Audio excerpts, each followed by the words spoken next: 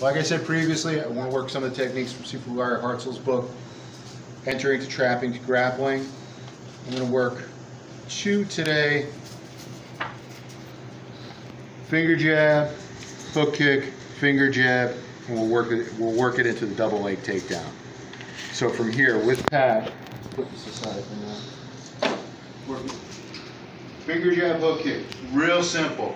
I'm gonna lean forward for the finger jab, back for the hook kick, in for the finger jab. But if we'll do it on the other side, I'm gonna go one, two, and three. Again, from here, one, two, three. Now, if I add the takedown, for now, since we're on bare forward, I'm not gonna take pad all the way down.